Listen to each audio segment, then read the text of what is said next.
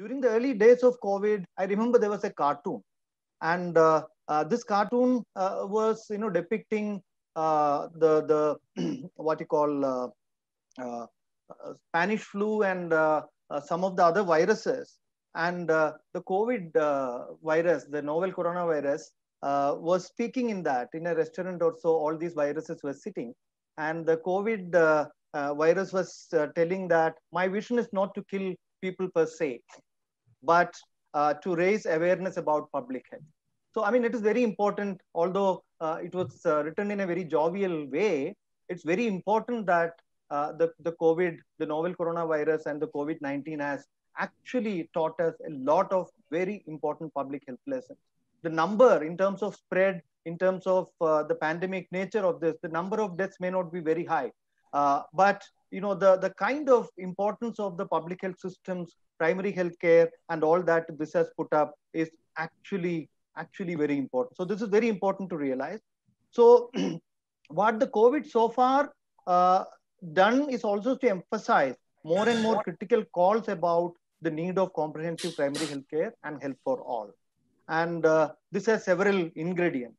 WASH in health facilities, healthcare facilities, uh, you know, that is one amongst these critical uh, ingredients. And it is important one, but uh, for the specific context of this disease. Not only for this disease, even otherwise, uh, WASH in healthcare facilities has a very important significance for running the uh, infection prevention and you know uh, you know managing various diseases and all that. So this is a very important agenda that we are talking about. We all also know that we have an overarching Indian public health standard that was designed as part of the National uh, Health Mission uh, some 15 years before, and that uh, talked about many of the standards, including the uh, the WASH standards for the health facilities. Uh, of late, uh, in you know some years before, we have this uh, what you call the Kayakalp guidelines, and Kaya Kalp, guidelines specifically was you know it, it, it, was about Uh, how to improve some of these uh, water sanitation, hygiene, and related issues in the healthcare facilities. And uh, uh, then, then we have uh, programs like Lakshya, labor room quality. Uh, you know, a lot of uh, uh, components were introduced of late into this. and as part of the Swachh Bharat mission, there was something called Swachh Swasth Sarvatra, which was focusing on our primary healthcare facilities. So now uh, COVID has added some new challenges of water sanitation and hygiene in front of the healthcare facilities. So that that could be around infection prevention, uh, that could uh, infection prevention protocols, that could be around the proper management and disposal of the uh, biomedical waste. Uh, and these all are seen as the first line of defense uh, for the COVID. And this is all for both healthcare providers, workers, and also for the patients and people uh, and support staff. So in this context, our panelists will discuss some critical issues like key WASH challenges and needs with relation to the healthcare facilities and suggest strategic possibilities for improvement and also identify strategies for strengthening and uh, uh, sustaining the critical wash uh, uh space that the pandemic has opened up. Uh, so how after the pandemic, which is going to be, I mean, as every day we are realizing that this is this, this pandemic is going to be with us for a little more time, longer time. So after the pandemic, how uh, the WASH in healthcare uh, facilities can be sustained. So these are the questions, the key questions that we will try to address today. And we have a bunch of uh, uh, you know, panelists, and I have the best uh, possible panel set of panelists for this uh, session. So let me introduce all of them. I have Dr. Sitaram, Dr. M.R. Sitaram. Uh, he's a practicing orthopedic surgeon with the Swami Vivekananda Hospital in Bangalore. Uh, besides that, importantly, he's also the uh, South Asia convener of the Fresh, Fresh Water Action Network. We call it FANSA. So he's a, a, doctor turned into public health, into water and sanitation. So it's a very large uh, area of uh, you know uh, activities that and experience that he's having. Apart, uh, you know, from that, he's also closely working with uh, the state and district health departments in various districts of Karnataka. So we will have a micro as well as macro perspective uh, that Dr. Sitaram will present us. and we have Dr. Jayan Srivastava. Uh, Dr. Jayan Srivastava was uh, instrumental, instrumental in uh, setting up the Kayakalp guidelines. also the Lakshya guidelines. So he is the advisor to the National Health System Resource Center, which is the apex body, uh, the technical hand of uh, the, the Ministry of Health and Family Welfare, Government of India. So he's a senior advisor looking after quality of healthcare in the NHSRC. And since, you know, uh, he has been instrumental in setting up these things, so we have uh, we, we have the uh, primary opportunity to listen to him about some of the issues and challenges that we are facing and the possible solutions that is possible. So I welcome uh, Dr. Sitaram and Dr. Srivastava. And uh, we have Manjeet Saluja. Manjeet Saluja uh, is a uh, environmental health professional and he is the national professional officer with the World Health Organization. So Manjeet will tell us uh, I mean, he was uh, with, till recently he was part of the WHO SEARO also, so he has exposure to various countries in the Southeast Asia region. So he'll be able to tell us about what is happening around the world and what we can learn in, in terms of uh, you know ensuring and sustaining what facilities in the uh, WASH services in the healthcare facilities. So he is the national professional officer with the WHO, uh, and uh, he is closely working with two ministries actually uh, both the Health and Family uh, Welfare Ministry and also the Water and Sanitation Ministry. So that linkages also we can get from Manjeet. And we have Pratibha Singh. Pratibha is also from another UN body, UNICEF, and she is the WASH specialist specifically responsible for uh, wash and health facilities also other you know integration of WASH issues with other development areas so she's having a lot of uh, important initiative that she has taken with both these uh, uh, not only with health and uh, uh, what you call the water and sanitation ministry, she also worked closely with other ministries. And we have finally Asad Umar. Asad Umar is the senior program officer with the Aga Khan uh, Development Network, Aga Khan Foundation. And uh, uh, Asad, you know, and his team focuses on wash in healthcare facilities in two important states of India, both UP and Bihar, Uttar Pradesh and Bihar, the largest both in terms of size and in terms of challenges. So, uh, so they have enormous experiences to share about both these states and also through the Aga Khan Rural Support Program, AKRSP, uh, Asad and team also is working on many other states. So I, I, I look forward to uh, listen to. So uh, I welcome uh, Manjeet, Pratibha, Asad, and Dr. Sitaram and Dr. Srivastava to this, this, this panel. And and I'm very welcome, glad to welcome you all, and looking forward to have a very live discussion over the 80 minutes or so uh, that we will have left with us. And uh, my colleagues uh, from both the Nudge Foundation and WaterAid India are here, and I welcome all of them. And they are they'll be helping us in putting together all the various questions that are coming from the the audience and the the discussions and all that. So I, I, I, thank all of them and I welcome all of them to uh, this group. And I finally welcome all the various uh, people who have joined us uh, for this very important session. And uh, I welcome all of you and I would like to initiate the discussion. So let me initiate the discussion uh, with an overarching question for all of you. so I can, uh, you know, the order can be you know, uh, I was expecting because of Dr. Jayan Srivastava had a uh, you know, very important meeting at the ministry to finish. So he had told me that he may be a little late. So I was keeping him second, but now I can start with him. Uh, so, uh, so it will be in the order of Dr. Srivastava, Dr. Sitaram, and uh, uh, uh, Manjeet, and Pratibha, and Asad. That will be the order of, you know, responses. But the question, first question is common for everyone. we all know that wash facilities in, wash in healthcare facilities in India has several gaps, uh, uh, numerous gaps. We know that you know we are in a very challenging situation, and uh, COVID has uh, really exposed us, and COVID has really uh, added to our challenges. So, in your opinion, how this pandemic has underscored the uh, intensified need to address and improve the wash services in the healthcare facilities? can I may I request Dr. Srivastava to start with? Dr. Srivastava, over to you. Yeah. In fact, uh, thank you, Raman and uh, colleagues. And at the outset, in fact, uh, I am grateful to WaterAid, Nudge Foundation, and the colleagues over there for having started, having taken this initiative to arrange this charcha spread over a period of three days and also having an important session on wash in health facilities, which is very dear to, in fact, all of us who have joined or who are the panelists. So in fact, uh, uh, conventionally, it was seen that Indian public health system per se, and in terms of more so when we talk functionality at the community health center level, PHC level, lower down with the health and wellness center coming up, that in terms of having the wash facilities, they would be grossly underprepared.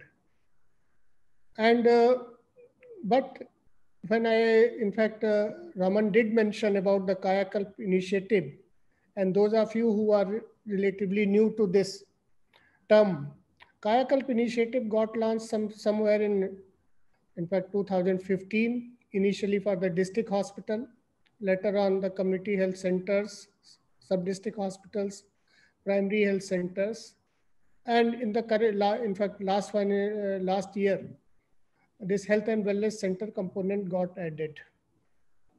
So in that context, in fact, the, the primary objective was the same. In fact, without having any political biases. But when, when the government launched this Swachh Bharat Abhiyan, we thought that at NHSRC, let's do something for our public health facilities. And in that context, it was launched. And why, why I'm emphasizing on Kayakalp, that, I mean, um, though I mean, nobody would have liked that a pandemic of magnitude of COVID hitting. But at same time, certain amount of the preparedness, I mean, the facilities, the, I mean, the ground situation, Manjeet will bear me out because the WHO has been validating and collecting that data. That those four, or five core elements of WASH, they, the facilities had been prepared in a fairly good shape when I, today morning, when I looked at the data that about 90% of the facilities, they had the, at least at district hospital level, they had the good quality of the water, availability, and alcohol, even as simple as that alcohol-based rub, it, it had been there. But uh, when this pandemic, in fact, uh, hit us sometime in the month of Feb end or March, First and foremost, in fact, the thing which came out very manifest was there was there had been a kind of fear of unknown, that in what shape it will hit. And in that context, in fact, uh, uh, government uh, in, in started multiple strategies. One had been that, uh, I mean, uh, helping those states where there had not been enough technical support in, in terms of in terms of having the guidelines, looking at the available guidelines, helping the states. And few of us would, would recall that in fact, since I mean the scope and the, uh, the complete dimension of the this pandemic had been so much and varied and ever evolving, that guidelines have been also undergoing a revision. And for a simple thing that we will discuss during whatever time permits, that even the, as simple as that biomedical waste management it had been evolving and new guidelines the government has been coming out.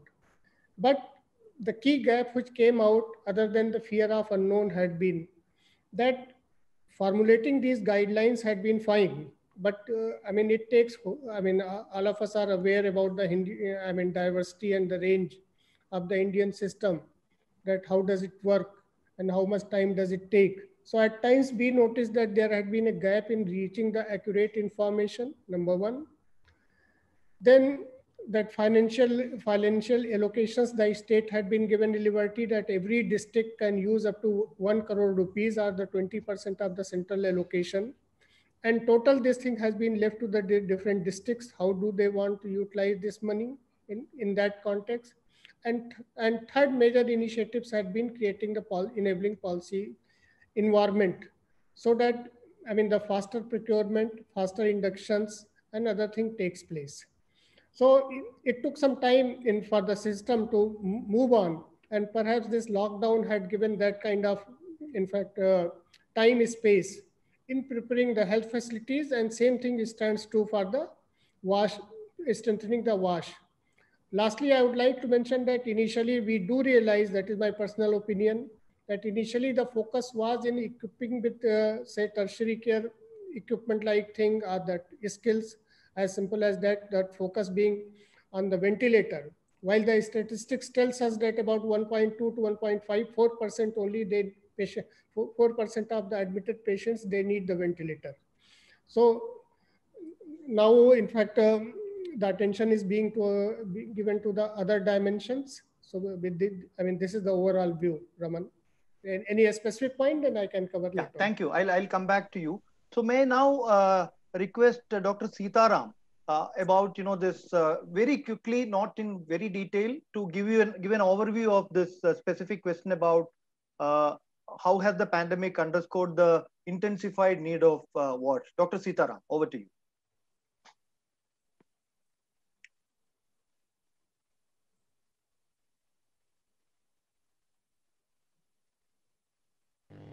Yeah. Thank you, Raman. Am I audible? Yeah, yeah, you are. Yeah. Thank you, uh, Mr. Raman. Thank you, WaterAid and uh, the Nudge Foundation. And uh, good evening to all the co-panelists and the uh, people who are tuning in. Um, so as a opening remark, you rightly said that this is uh, rather unprecedented uh, times, totally unknown, uncharted seas. so we are moving ahead and the progress has been at times very, very dismal, but at the same time, like Mr. Dr. Srivatsa was saying, there are some uh, uh, uh, good things also that are coming out. But coming specifically to the point that you raised, um, WASH and healthcare facilities. Now, I would like to look at these two. Uh, WASH, conventionally, we had generally focused on WASH infrastructure in the sense water supply, water quality, water dispensing, etc. And in terms of sanitation, we had generally looked at uh, uh, maybe uh, the uh, toilets, the human excreta management, waste management. You know, these were uh, the uh, bigger things. And in general, hygiene had been a poor cousin. the practice of safe sanitation, the, the practices that keep safe water safe or a safe disinfectant safe in the hospital setting probably had not been given uh, adequate focus. Now it is bringing us back to the point that uh, what actually allows the virus inside is how you deal with it and what you do, what you practice. So it is bringing a whole lot of new focus on hygiene.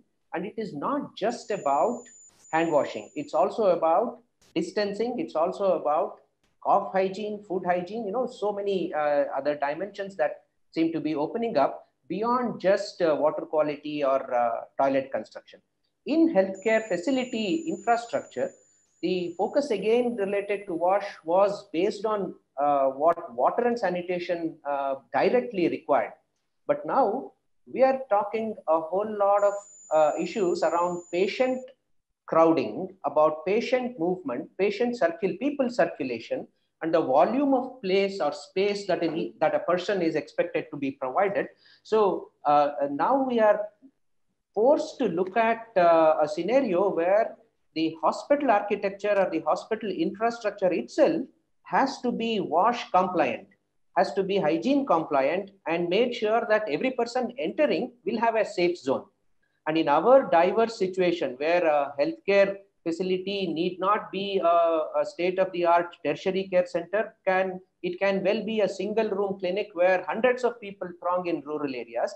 Given this diversity and uh, inequity, the challenge that it has now opened up is how do we bring about better standardization? How do we bring about overall infrastructural safety for uh, sanitation and hygiene in addition to just supplying safe water? Thank you. Thank you. Manjeet, can I uh, now make now request you to come in with your thoughts on this. Very quick. Yeah, yeah. Thanks, Raman. Uh, I hope I'm audible. Huh? Yeah, yeah, you are. Yeah.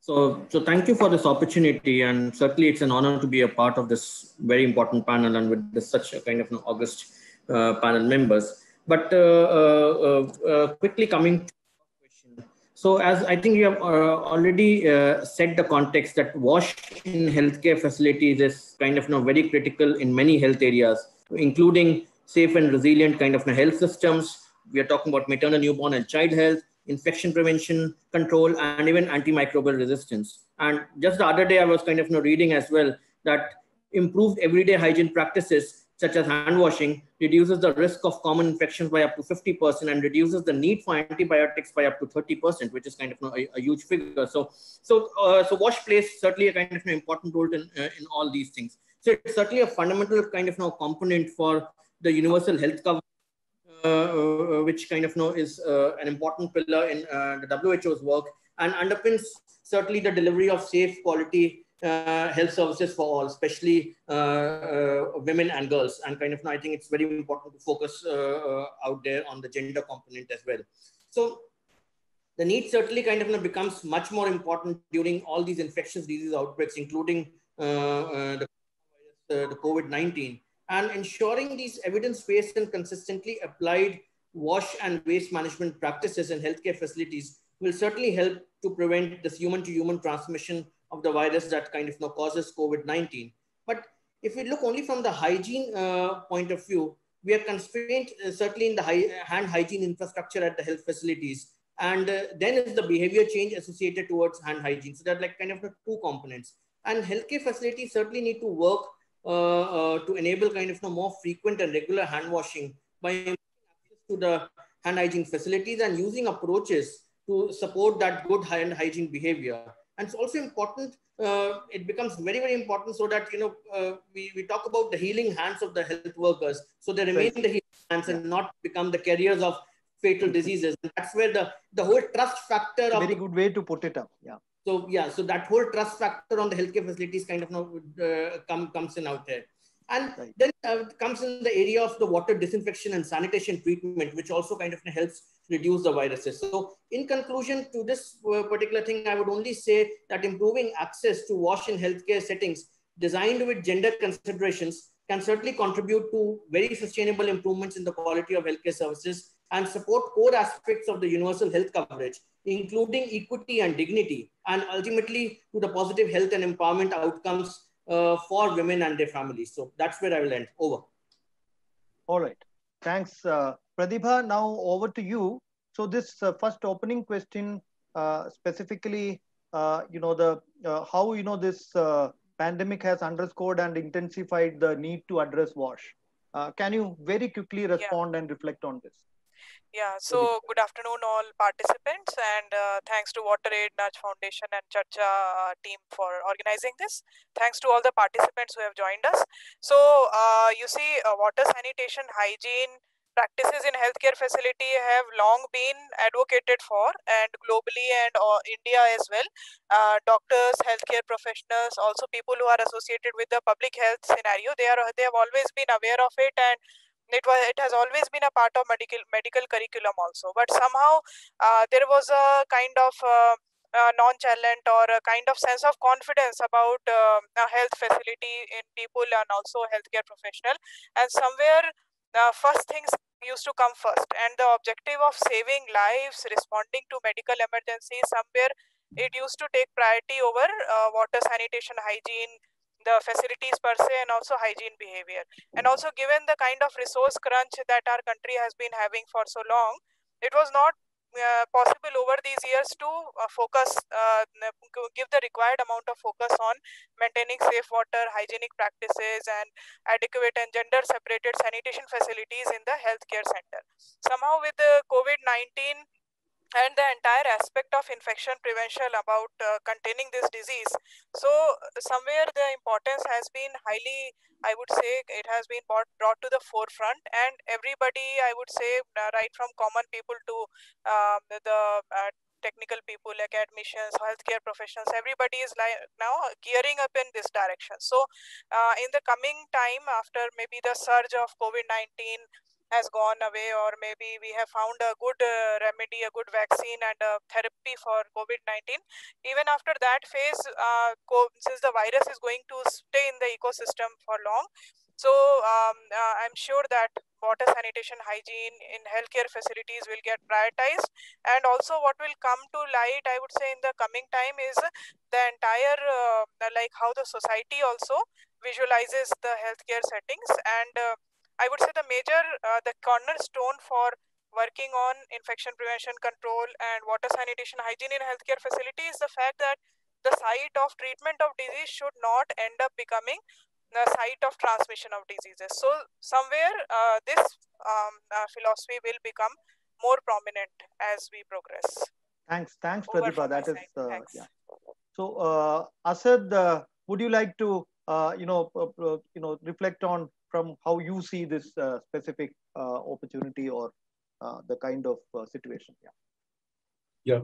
Uh, thank you, Raman, uh, for having me on this uh, panel.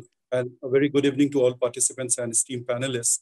I think Dr. Srivastav and other panelists have set the tone. A couple of points I would definitely like to add here. as we all know, I remember at the outbreak of this pandemic, a statement from, I suppose it was from WHO WASH chief, he's at that point of time, uh, actually, he mentioned that now it is time for the world to actually recognize WASH as a sort of public health intervention. From this perspective, I would I would like to put forth some of my uh, um, uh, opinions on this. Um, uh, no doubt, uh, I mean, uh, healthcare plays a critical facility play a critical role in any outbreak response, and they are the backbone actually to countries' defense to limit or contain the spread of disease. Now, in a pandemic situation like this, what is really important is safely managed wash services. I think Dr. Seetharaman has uh, uh, emphasized on this. Uh, when we say safely managed wash services, so it, it also includes uh, the, the whole behavior components uh, in healthcare facilities. Um, uh, to, to deliver, one, quality health services, protect patient, what Pratibha has mentioned here, and, and health workers and staff. During current situation, um, uh, infection and control protocols assumes a greater importance as these are spaces, uh, uh, those are going to be of high footfall zones. And uh, when facilities lack basic wash access, the public, especially uh, uh, women, they may avoid or delay in health-seeking care. Now, if you just look at the current protocol of this pandemic, this, this also requires for the patients to to stay uh, back in facilities. And that is where uh, mm, uh, that is where actually WASH assumes a greater importance. All right. Now, now so, in this, yeah. Uh, so in this regard, I think uh, uh, this is this is this pandemic has actually opened up a sort of the, the, the, whole discussion and and the priorities around wash access within healthcare facilities, and this is the right time to improve wash in healthcare facilities, not just as an immediate response to COVID, but largely as a response towards improved patient uh, outcome and Thanks. Thanks. Uh, so I'm not going to leave you here because you know the next set of questions I'm going in the reverse order, so that I'll end with uh, uh Dr. Srivastava here. So my question, specific questions I am starting now. The specific question to you is that uh, Asad Aga Khan Foundation has been very proactively conducting research on wash in healthcare facilities over the last year and uh, the previous year, I, I have been seeing some of the critical right. kind of insights that uh, uh, Aga Khan Foundation was uh, bringing in both in UP and uh, some of the districts of UP and some of the districts of Bihar. So there are right. very critical insights, uh, you know, you have brought in probably, which is very important also to, uh, you know, understand the healthcare administrators and the service providers to understand where are they standing and what all are the areas that they can look at. So that is one question to you. And also, uh, I know that you know you have been supporting hand hygiene facilities in the healthcare facilities uh, during this uh, pandemic situation. Also, you are trying to guide uh, uh, biomedical waste management in some of the facilities. So, how how things are happening now? And then uh, you can also please outline how wash sector organizations and health health sector organization can together take action to improve wash in healthcare facility, especially in the resource constrained settings like both in terms of uh, you know uh, money and also in terms of health systems. We have UP, Bihar, and similar many other states. So how you know in the resource constrained settings the wash uh, facilities can be uh, can be improved as uh, you know your experience go. Asad, over to you. Uh, thank you, Raman. I would start from what Dr. Srivastava has mentioned that we do have good policies in place, but when it comes to its actual implementation on grounds, uh, sometimes uh, uh, things actually don't go the way we want it to go. Um, now, with uh, as, as you rightly mentioned that Aga Khan Foundation, I mean, uh, is sitting here. So we are actually in UP, we are partnering with UNICEF. And that has given us uh, an opportunity to closely work with the system to bring an improvement uh, in the facilities. So it is not only about it is not only about uh, undertaking certain uh, uh, assessment or research activity, but but also sitting with the district uh, government, working on it and trying to bring in certain improvement. Now we have been working in partnership with UNICEF for one and a half years, and a comprehensive tracking tool. We have used almost 13 key parameters, including access to and functionality of WASH services and behavior and practices of service provider, and this is based on, uh, as Dr. Srivastava uh, has outlined in his uh, opening remark, uh, Government of India's uh, labor room quality improvement guidelines, the Lakshya, National Quality Assurance Standard, and, and also WHO's WASH fit uh, tools. Now, data, what we did actually, the data related to WASH parameters, it, it, it was around water access, hand washing facilities, then toilet access, then waste segregation and overall cleanliness. Were tracked uh, uh, from actually we, we focus on three uh, patient critical patient care points. That is nbcc labor room and pnc ward. Right. uh, this assessment actually helped us to identify facilities which were deemed functional non-functional or partially functional. Because that was something where uh, uh, in fact district government were not having any idea and that right. has actually given us certain insights into it now based on this uh, the status was then shared with district health society meetings. And I'm, I'm, going a little into detail of what exactly we did on the ground because it will be useful for the it'll larger useful, audience. It will be useful if, you know, that can be linked with the current COVID situation, how these recommendations yeah, yeah, sure, can sure. be used I'll, I'll, Yeah, yeah, yeah I'm, I'm, coming, I'm coming to that. Yeah. So status was uh, shared with uh, uh, disaster, uh, uh, district health society meeting and also with MOIC and that has helped to actually develop a sort of incremental plan for improvement of these facilities.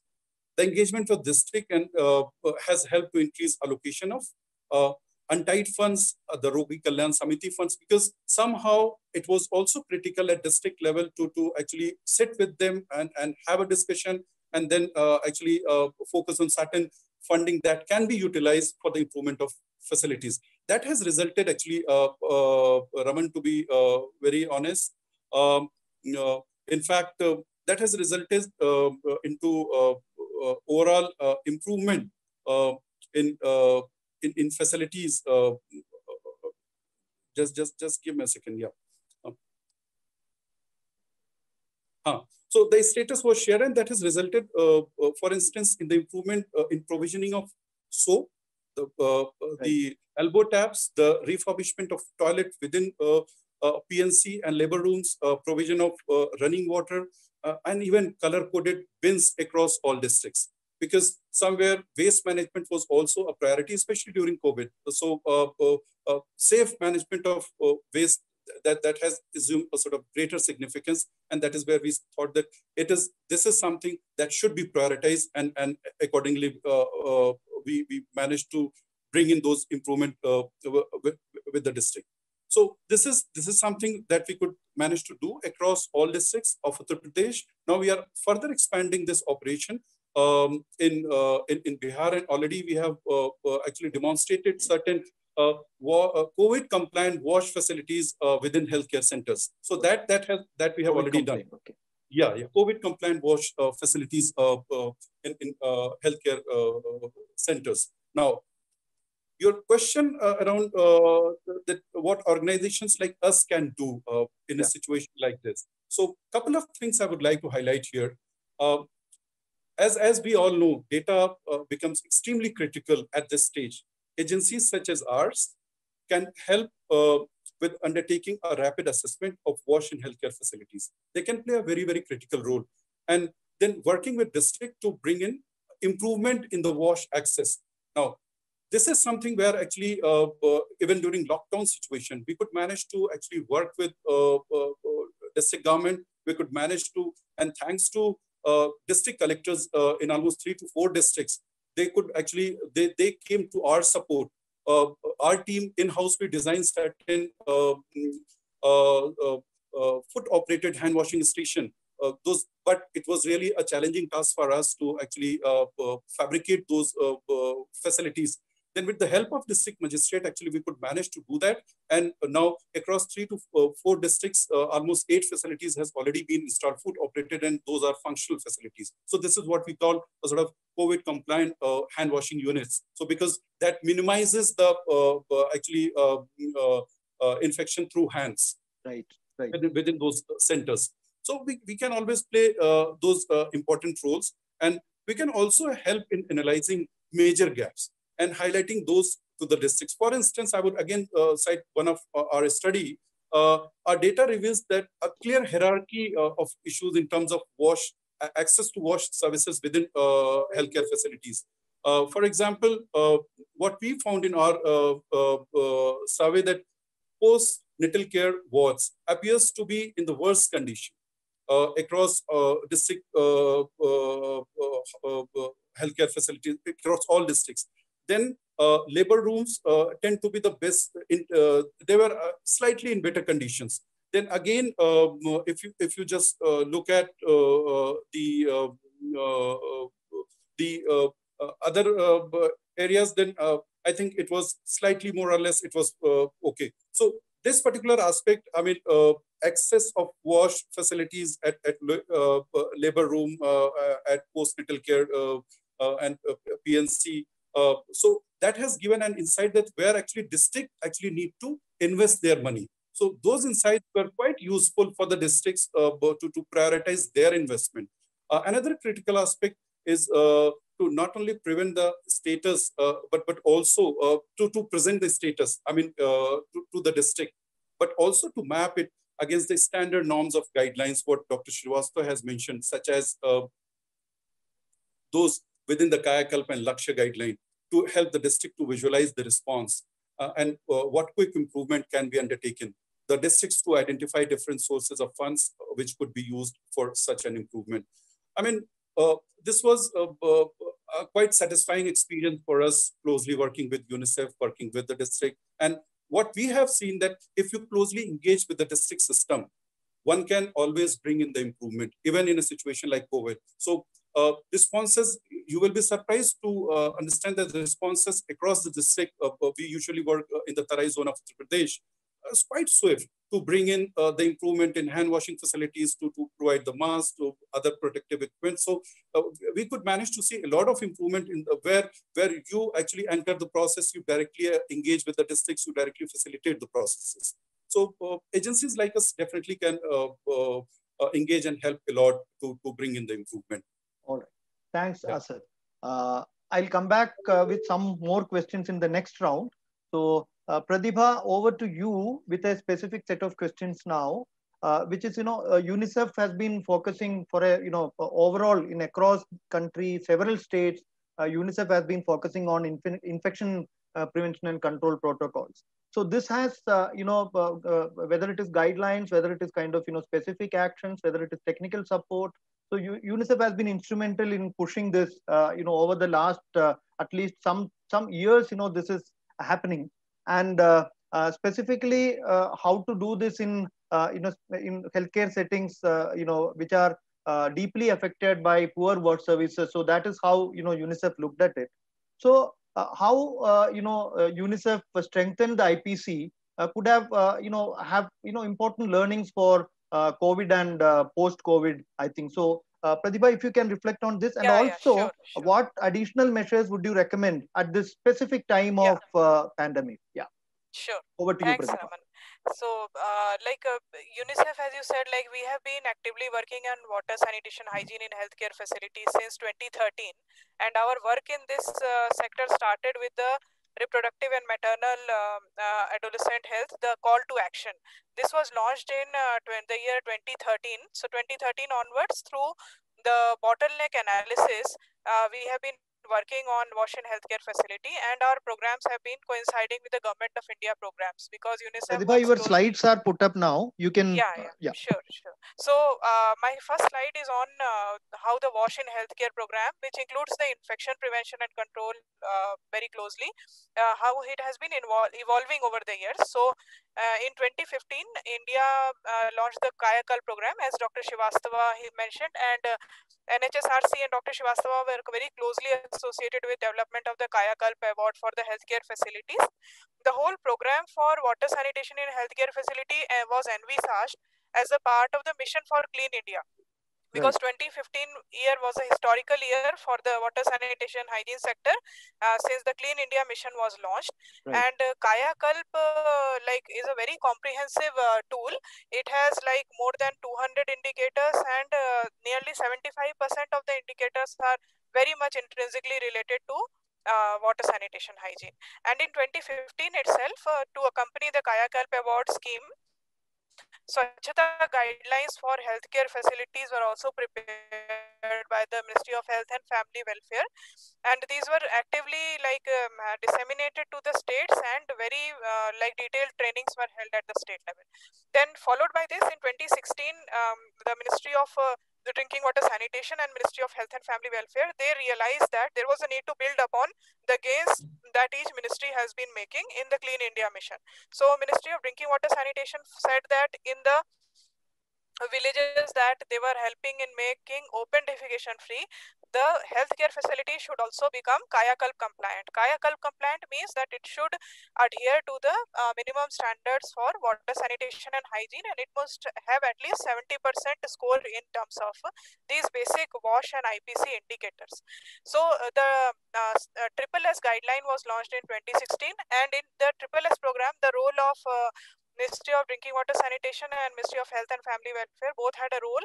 And Ministry of Health and Family Welfare had a role in the Triple S in the sense that they had to ensure that in case there is a community which is uh, uh, still not open defecation free or uh, it is about to be open defecation free, the uh, nearby health facility which has been Kayakalp awarded, like they should assist in the process of making the Gram Panchayat open defecation free. So the Triple S was launched in 2016 and in 2016 onwards like uh, these uh, uh, uh, which were located in open defecation free uh, gram panchayats near the neighboring area so that uh, they these facilities can be supported in becoming Kayakalp compliant. And they were given a financial allocation as well to become open defecation free after the uh, uh, Triple S program in 2017, the labor room strengthening initiative or the Lakshya program was launched, which was closely, it, it lays down a set of targets for maternal and uh, maternal health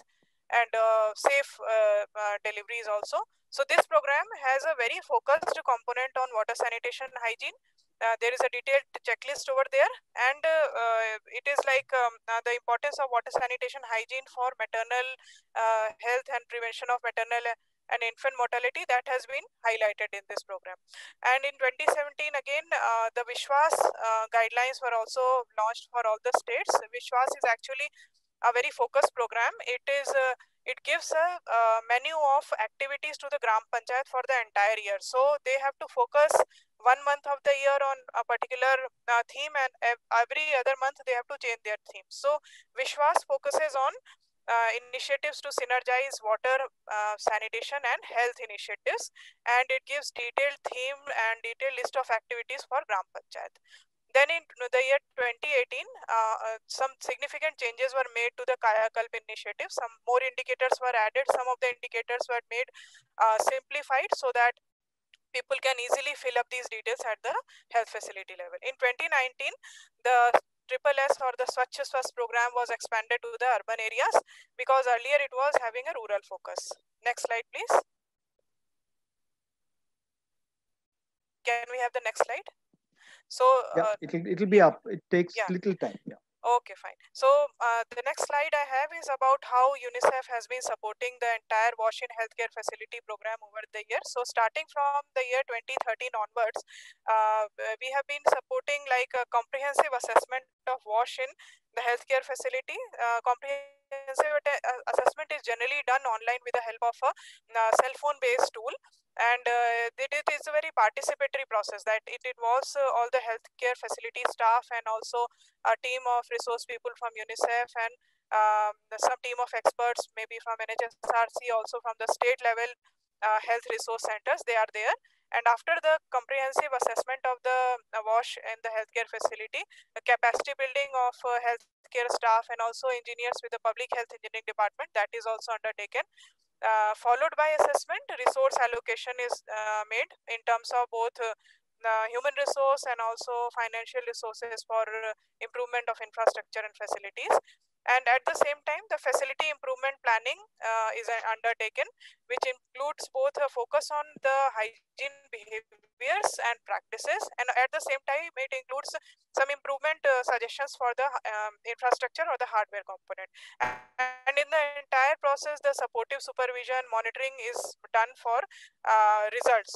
So the assessment checklist is used as a kind of a baseline or it is used as a master document. And against that, the improvement of the facility keeps getting recorded. And uh, every quarter the health facility gets assessed once more to see how the progress is getting made. So during the years 2016 uh, to 2018 like it was our, our phase 2 of our support for wash in healthcare program. And from 2018 onwards phase 3 has started uh, because uh, 2018 happened to be the timeline for the RMNCH plus A program, the reproductive maternal uh, infant newborn and adolescent healthcare program. Uh, so 2018 onwards, our focus has been expanding to beyond the high priority district beyond the high priority district means that earlier our focus used to be on identified districts uh, which had a very low performance in terms of maternal and child uh, health indicators. And uh, uh, slowly that focus has been uh, going beyond to expand to the entire state. And the model of these healthcare facilities where wash improvements have been supported uh, over the years in terms of assessment followed by capacity building and facility improvement planning and all that has been like attempts have been made to upscale it for the whole state. And now since the uh, covid-19 pandemic is here efforts are ongoing to like intensify those efforts. Uh, next slide please so just a small uh, depiction of how our entire program moves and uh, uh, internal monitoring and review and evaluation. So entire program has a uh, facility at the center stage and the staff from the facility and staff from the state government um, health department, they are at the core of all the programming requirements. Next slide, please. In the context of COVID-19, uh, uh, like UNICEF has been actively working with the WHO and also we have been working with some partner organizations. So we helped in um, uh, making the isolation ward and the quarantine center checklist at the national level. And in the 15 states where we are actively working, uh, UNICEF has been supporting in, uh, in uh, like uh, fine tuning and contextualizing of these checklists for assessment of uh, um, preparedness of the isolation wards and the quarantine centers. Because since the COVID-19 pandemic is here, a lot of health facilities are like gearing up have geared up already and uh, they have to become compliant to be able to respond to patients having with uh, suffering with COVID-19 related infections. So uh, assessment has been supported and followed by that uh, a series of online programs, uh, online trainings have been supported for healthcare facilities staff and in uh, Madhya Pradesh, Maharashtra, Gujarat, in Chhattisgarh, also in Odisha and West Bengal, uh, very proactively state level trainings have been ongoing on uh, COVID-19 and uh, something very significant to note is that because of all the technological advancement that has happened, uh, the, the, training of healthcare facility is happening in local languages. And uh, like uh, the outreach of the Zoom platform and various other online platforms for having large meetings that has made it possible to uh, like conduct the trainings and continue the program despite the lockdown period. Uh, now with that, uh, there are some key recommendations that we have for wash-in healthcare facility given the COVID-19 context. First is that uh, there should be a system of quicker assessment of healthcare facility as more and more such facilities are getting used for treatment of COVID-19. Um, I mean quicker assessment in the sense that uh, there should be a process that within one day maybe some uh, technology based platforms can be used for this uh, purpose. And uh, in unicef we have some practically working practical working examples. And there's a joint experience with who that we have in bihar. And aga khan foundation will also be soon uh, joining hands in that. So uh, some online tools are there. So followed by quick assessment we can quickly come to the facility improvement planning based on the findings of assessment. Then uh, somewhere there has to be some measures to address the uh, HR shortfalls because human resource gaps are one of the major hindrance in when it comes to uh, looking after water sanitation in healthcare facilities because uh, it is and given the covid pandemic uh, health uh, facility staff are already overloaded and overworked so that they are like they are really feeling very constrained to respond to so many additional needs. So some quick measures can be devised like scoping in of volunteers, some CFO, CSO and NGO staff who can be quickly deployed after trainings especially to take care of uh, wash in healthcare facility also for some community outreach activities some uh, behavioral change communication and all.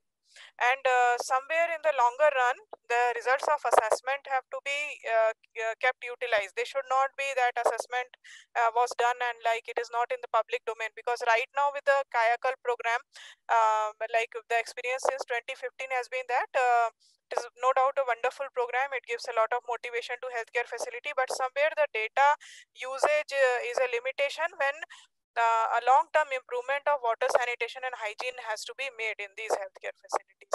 So uh, all the data which is getting generated has to be available for the planning purposes also.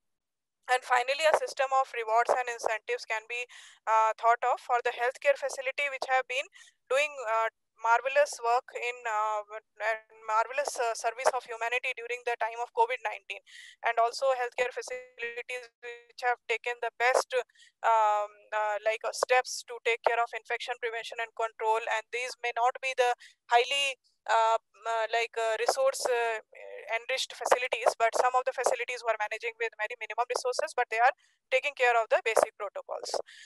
So that's all from my side Thanks, thanks, Pratibha. It was uh, specifically this assessment, facility improvement, HR improvements, and trainings, planning, and then rewards incentives. It's a good scheme. So I was uh, quickly, you know, remembering something that I was uh, when I was the uh, head of the State Health Resource Center in Chhattisgarh years back. We had a program called Enhancing Quality in Primary Healthcare called EQUIP. So there were several uh, similarities here. So I'm uh, but uh, one one question which you know while uh, in the concluding session when uh, concluding part when i'm coming back to you you may keep in mind uh, that you know how in a, these kinds of things in a very emergency situation in a very quick response rapid response situation how these can be done by the health systems is a thing that is coming to my mind so that you may keep yeah. for uh, you know, while you are responding to the, uh, you know, yeah. we, we are concluding the thing. Yeah, so, we have, in fact, Raman, just to quickly respond, we have some working models right now, how we are okay. responding to COVID-19 in states, and I'll okay. be happy to share experiences from there. Yeah. Thanks. All right. So Manjit, uh, now I'm, uh, you know, coming to you. Uh, specifically, you know, uh, WHO has developed some important tools like the wash fit for assessing the uh, you know healthcare facilities what is the you know uh, what situation and overall. And uh, many countries are using this. And you have also looked at uh, the financing patterns of uh, you know uh, how how you know wash sector is financed broadly. So that also you looked at from all perspective including health and then uh, you also since you know you have experience of working in south asian countries and who of course is working in all countries across the world and uh, uh, at the center of all this uh, covid action now. So uh, what are the kind of key experiences coming from the low and middle income countries and what uh, you know how the tools and you know systems and processes that the who has been you know, has developed could be used for improving the situation currently? Over to you manjeet. Okay yeah, in terms of, uh, I, I would take these two questions separately, maybe, uh, Raman. Uh, okay, in terms That's of, fine. Uh, uh, in terms of the tools, uh, maybe let me kind of first come on to the tools which you kind of know, spoke about. Okay. Uh, Asad ji has already kind of mentioned about the usage of WashFit as an assessment tool uh, which uh, was undertaken. So I think before I come on to the how part of uh, the WashFit, let me kind of know first talk about what WashFit is to, for all the participants. definitely, so, definitely, so, that'd be quite useful. Yeah, so WashFit, uh, as uh, you are aware, and the panelists, is an adaptation of the water safety plan approach, uh, the WSP, which is kind of know, recommended in the in the WHO guideline for drinking water quality as the most effective way of ensuring uh, continuous provision of safe drinking water. And uh, WSP is a kind of uh, a continuous risk assessment approach from catchment to consumer. So it's like kind of a, a continuous assessment approach uh, uh, so same is kind of you know, WashFit takes its clue from there and it's a, it's a risk-based continuous improvement framework with a set of tools for undertaking water and sanitation uh, hygiene improvements as a part of the wider quality improvements in, in healthcare facilities. And it was designed uh, for, for use in these primary healthcare facilities uh, and uh, maximum to the secondary facilities. And the tool aims to certainly improve the wash and related facility management and contribute to the quality of care. And uh, since its inception, uh, somewhere around 2015, uh, WashFit has been implemented in over kind of you know, 20 countries. And implementation efforts also have ranged in, in focus when uh, it has been used for the cholera hotspots in uh, some African countries, the post-Ebola recovery in, in Liberia, healthcare waste management in kind of you know, some countries, then the duration and even the scale of it maybe a pilot of three facilities in Tajikistan, 30 facilities in three regions in Mali, and over 100 facilities throughout Liberia. And WashFit is predominantly kind of used in non-emergency settings, but it can certainly be applied uh, in emergency settings as well. For example, it's used to conduct a, a, rapid assessment and identify areas for improvement in, in 200 healthcare facilities in Cox's Bazar in Bangladesh. And if you remember, uh, WHO and WaterAid used it uh, for our assessment during the Kerala flood response in the Wayanad yeah. district of Kerala. Yeah, yeah, so yeah. It, certainly has kind of you know, uh, uh use in uh, non-emergency as well as in the emergency kind of you know, uh, settings. So um, in, in terms of uh, overall WashFit, it's certainly a, a five-step uh, uh, cycle, which is a it's a participatory process, which uh, with a very very strong focus on uh, prioritization, leadership, and kind of you know, community engagement.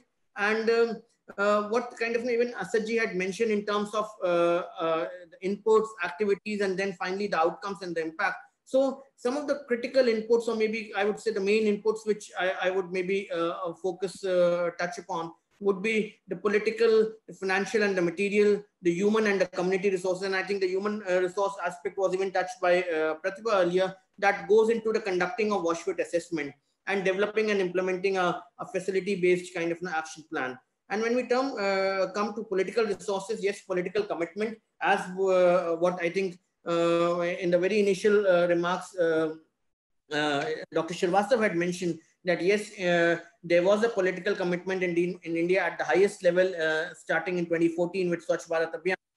How it translated kind of an engagement at the at the district at the state and the district levels, and then support from certainly the external partners and the donors, which also facilitates uh, the initiation and implementation of Watch WashFit.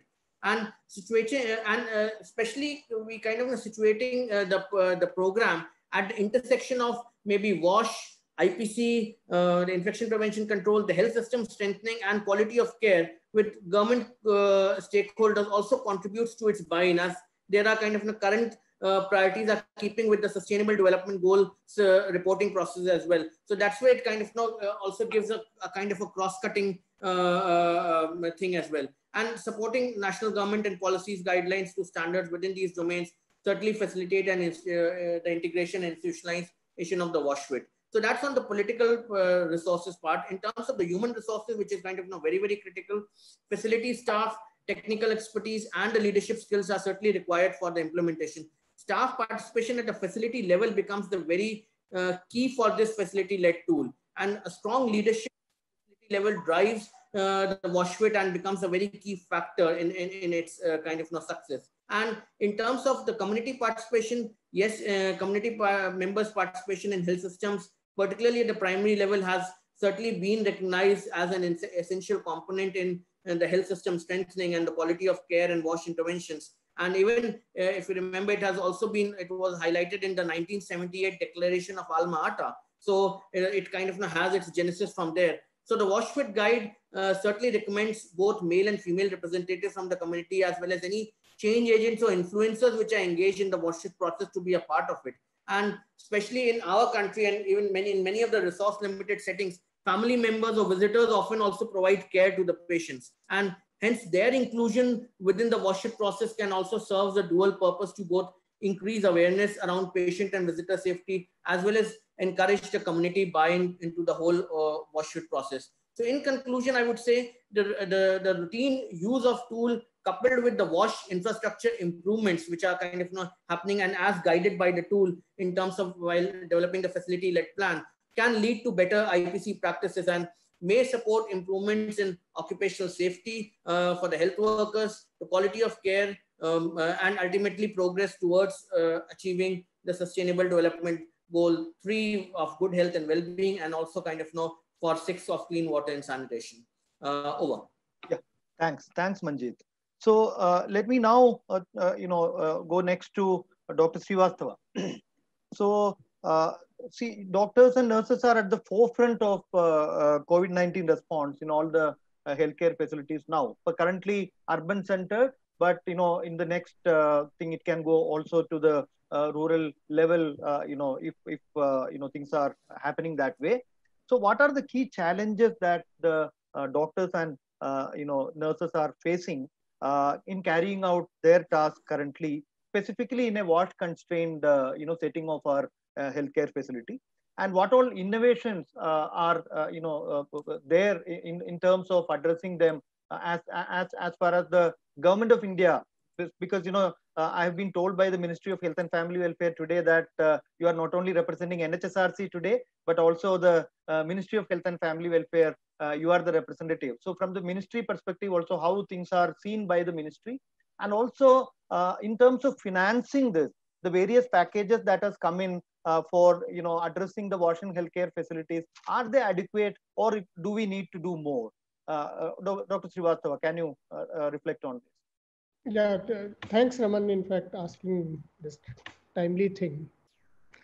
In fact, uh, in fact, first and foremost, uh, challenge which uh, came to all of us, including our frontline warriors, if I may call them, which, which they are, had been, in fact, uh, first thing comes up uh, awareness.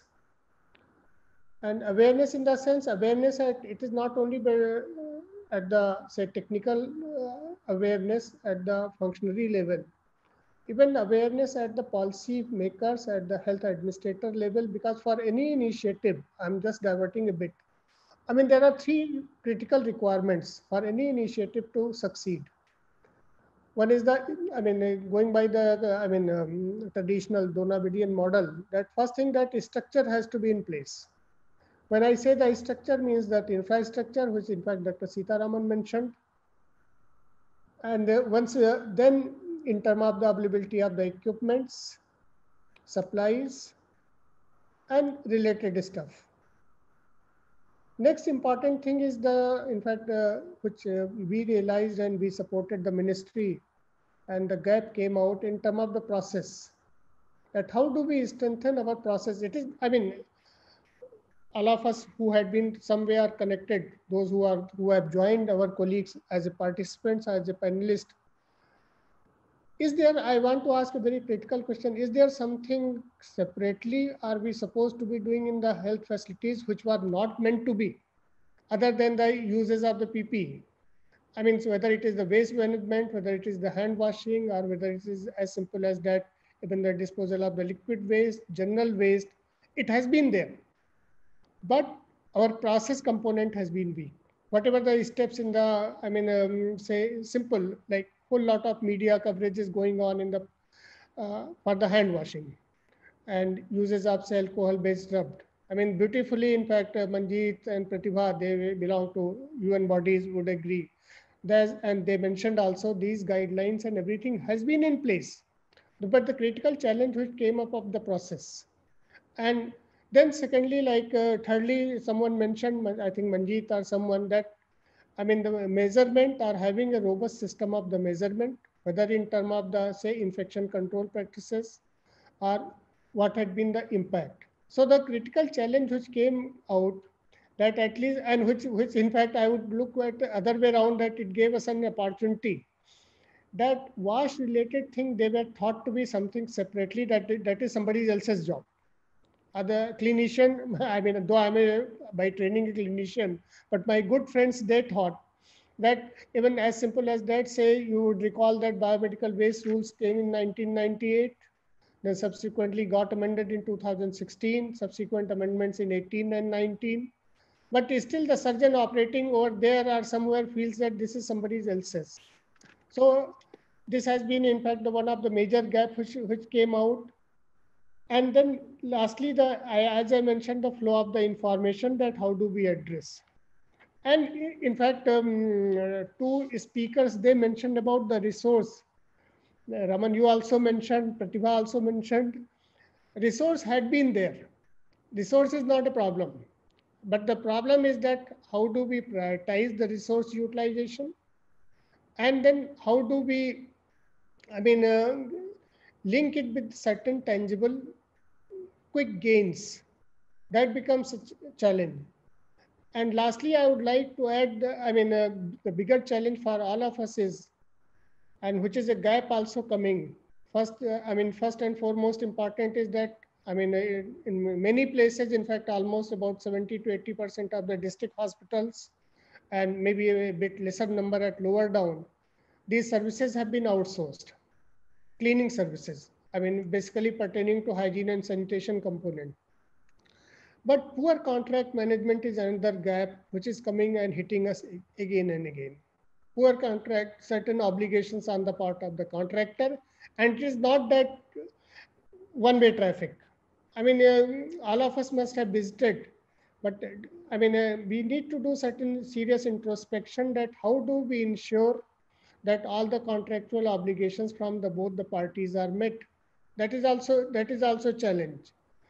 And how do we ensure that, in fact, the whatever the good practices are there, I mean, uh, God willing, sooner or later, this COVID pandemic will get over, country will settle down. How do we sustain? This has been the challenge under Kayakalp. In fact, all the all the uh, quick gains are the initiatives which had been taken because the infection, I mean, everybody realized, but the efforts needs to be sustained even if when it settles down. And resources are not a constraint. In fact, the government of India with the, I mean, the support from uh, cabinet secretariat and higher up, money is not a constraint for the state that you, but what we need sitting in the ministry or helping the ministry, that the state should come out with that tangible plan, which is workable, which is sustainable and which cannot be, I mean, if I may use that term, which is not only, there is a, some kind of shopping list, but there's a due element on the process, due element on the certain outcome indicators. That becomes important. And lastly, the I mean the big challenge for us that is a gap also that how do we ensure that if, I mean though COVID uh, COVID virus is a RNA virus, but I will say that how it becomes the DNA of the health system functioning and functioning of the public health system. So right. these are the certain challenges also which have been we have been trying to address and the journey is never ending. Thank you.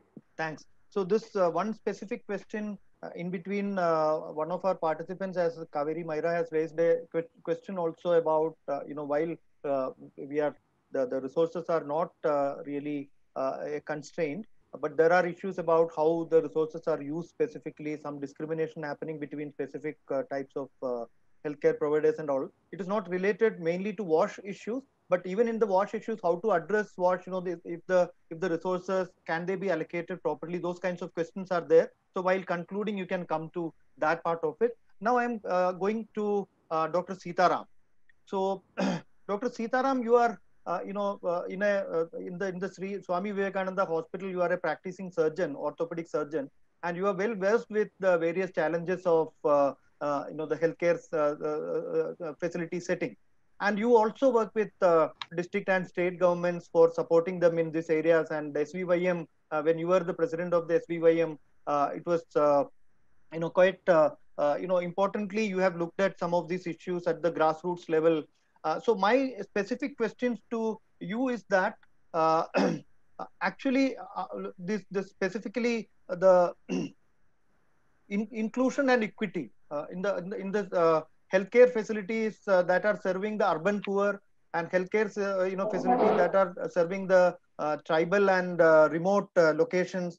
How you know the constraints about the, the the health systems constraints and also the water related constraints how you know these could be addressed and what all are the ways for you know looking at it? And also in continuation to what i have asked to dr srivastava the what measures are uh, Uh, you know uh, protecting both uh, healthcare providers and people how are they uh, you know doing at this point? Yeah uh, thank you. A lot of points have already been covered. So though i run the risk of a bit of you know repetition i just share some thoughts. And perhaps I'll start with the healthcare facilities in general and wash facilities there uh, and the risks in the current situation of COVID-19 uh, pandemic, and then come to the specific issue of uh, disparity. So if we understand the general risks that exist, then we will be better able to, you know, um, compare and contrast the specific risks that exist in some situ situations.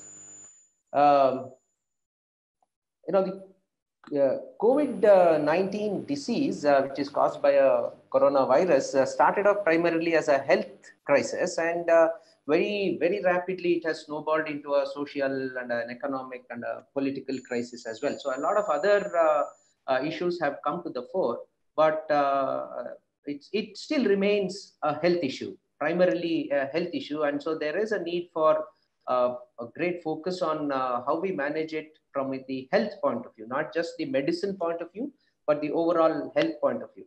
So, uh, incidentally, uh, you know, it's it's interesting that you have started off this whole program of uh, this e-conference uh, with a focus on healthcare facilities itself. So by now, uh, I find that interesting. I find that a very appropriate way of uh, starting the whole discussion set as well uh, you know, by now, uh, we, all of us have heard about uh, the SARS-CoV-2 virus and the disease that it causes, which is called the COVID-19, how it spreads, and uh, you know all these things. Uh, so uh, the link with the healthcare facility has to be well understood. you know, we have heard of the mechanism of spread. We have heard that it spreads by coughing, by touching and such things.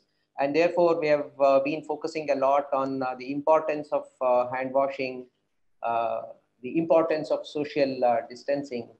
Uh, incidentally, I don't like the term social dis distancing. You know, I prefer right. the term physical, physical, distancing. distancing. yeah. yeah. So I've been repeatedly try, trying to hammer in that we need social proximity and physical distancing. Definitely, so, yeah, that's an important thought. So issues like cough hygiene and such things have come up but the crux of the matter is that the world is now waking up to what we WASH activists have been crying ourselves hoarse, all these years. That what protects life, what nurtures life, and what promotes health is actually basic measures around safe water, safe sanitation, and hygiene. Not necessarily the high-end uh, gadgetries that uh, generally are looked at as being more glamorous. So, uh, in a way, this COVID-19 crisis has brought the focus back to the basics and it's not just in healthcare uh, facilities alone, uh, but in general, in, in all walks of life. And I, I do hope that this realization sustains and there will be some, some amount of life, lifestyle modification. But coming back to healthcare facilities, and like uh, uh, Dr. Srivastava was mentioning, uh, this is not something that's wholly new. It's just that the focus has now become sharper. Now, when we look at history, uh, there have been umpteen stories of martyrs who have sacrificed their lives for betterment of mankind. And one such person that I respect immensely is a person by name Dr. Ignaz Semmelweis. I don't know how many yeah, yeah. here have heard. Um, you know, the, this physician in Vienna in the mid 19 in the mid 1800s noticed that the maternal mortality in the hospitals was much higher than the maternal mortality uh, in the homes. Uh, and looked at the causes and he realized that there was something in the hospitals, perhaps handling, uh, which caused this increased death and in, in initiated this process of hand washing. wash your hands in chlorinated lime was his focus, was his slogan. It sort of became a obsession. Unfortunately, he was probably way ahead of his time because people did not know about germ theory at that time. And his colleagues uh, sort of uh, uh, ostracized him, branded him a lunatic, and uh, we and unfortunately he ended up in an asylum. You know, it's a tragic story. But the the story, the sad story, tells us that if not taken care of, the healthcare facilities themselves, ironically, instead of being lifesavers, can actually become hotbeds of life-threatening infections. So this is a place where sick people visit. And so the environment is likely to be brimming with organisms which cause sickness. So this was the case in Vienna uh, during Semmelweis time. And uh, though situations have changed hugely, in the COVID-19 times as well, this is how uh, healthcare facilities pose a risk. So the first, uh, like uh, Pratibha was mentioning, the first priority should be do no harm. And therefore, it's uh, very important that healthcare facilities, healthcare centers themselves gear up to these basic responsibilities and make themselves, uh, uh, you know, safe uh, actually there is nothing right or wrong or mistake about it. Dr. Sitaram, I'm getting a notification because the 6.30 next session is about to start. So they may be okay. need to needing to close. I was about to uh, okay. extend this till 6.45, but uh, okay. I'm getting a notification here. Sorry, please, yeah. Uh, yeah. Do, do I continue? Yeah, please conclude. Uh, yeah. yeah. Uh, so uh, it's it's uh, important that uh, we collectively take up this responsibility of making the healthcare facilities safe for everybody. Everybody includes the healthcare providers who are working there, as well as the patients who visit there and the attendants who come there. You know, these, these are the three main categories of people who uh, generally visit a hospital. And in, in order to make it safe for all these people, uh, we need to look at it from a more holistic point of view. Like I was uh, mentioning, uh, while safe water being supplied to the hospital is important, it's also important to look at how the whole flow or the whole, whole infrastructure has been planned. Now, this is where we come to the issue of disparity and inequity uh, between different uh, segments and centers. Now, like I was saying earlier, there are very, very small and non-decrepit uh, uh, small room, dingy rooms, which uh, pass off as clinics or a small uh, house which passes off as a nursing home. And we need to bring about, uh, you know, better standardization and ensure better quality of enforcement here so that the wash safety is implemented in the right spirit and not necessarily only by supplying water or only by building a toilet. It involves actually a lot of practice and uh, these practices are something that we need to uh, ensure by all these segments of uh, uh you know uh, stakeholders. So uh, even in the hospital, it's not just about the doctors or maybe the nurses, but the wide variety of human resource groups that exist in the healthcare facility. So everybody has to be brought on uh, the same page and everybody has to be practicing certain precautions and uh, uh, safety measures. So in the healthcare facilities, what the slogan has to be is uh, of universal precautions and not necessarily uh, looking at a patient as COVID and taking special precautions about him. Because, you know, repeatedly, even in India, we have seen that a lot of uh, asymptomatic individuals have turned SARS-CoV-2 positive. So that means the person sitting next to me, though he's not uh, really running a fever, could well be SARS-CoV-2 positive. So uh, I have to take precautions to make sure that he doesn't spread the disease to me or to the surroundings. So that way, it is very important that we take universal uh, precautions at the uh, healthcare facility level and set an example of such precautions to the uh, rest of the community or, and everybody who visit the uh, hospitals. Uh, one more thing that's important is uh, within the hospital setting, there are a lot of fomites which are many times not recognized. You know, we are very fond of this 5F uh, uh, principles, the finger, feet, etc., etc. So fomites in the hospital, like our stethoscopes or the case sheets or the torches that we use in the uh, hospital to examine patients, all these are potential carriers of uh, infective material, which includes this particular uh, virus. Many times our uh, individual stuff like our phones or uh, pens and such things get very easily mixed up. And we need to make sure that there is a segregation of uh, these potentially infective fomites and training and practice uh, oriented towards this sort of safety has to be uh, ensured across the board. So these are, uh, you know, streaming, separate streaming of patients who are potentially infected, uh, adequate waiting area, ensuring that there is enough space between individuals and not much crowding, identifying potential areas of crowding and ensuring that there is some spacing out. You know, these are all essential uh, uh, steps that we need to plan.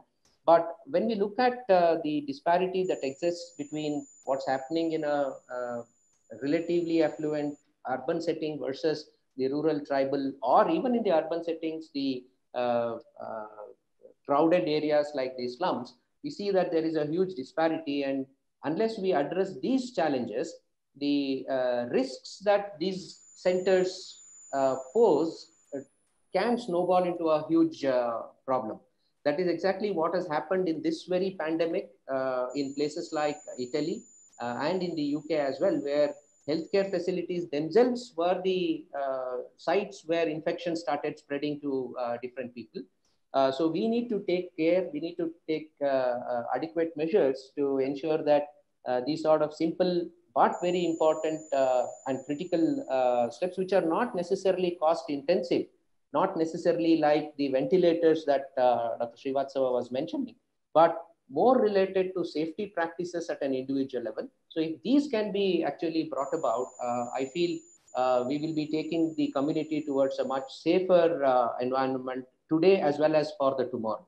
Yeah so even in the rural settings, we have faced a lot of challenges, even in our tribal hospital, to bring these uh, practices uh, in, in put these practices in place. But uh, uh you know, uh, we are happy to say that in in that very hospital, we have now been able to bring in all these measures. People over a period of time and with appropriate guidance, appropriate training, and appropriate example setting, which is extremely important.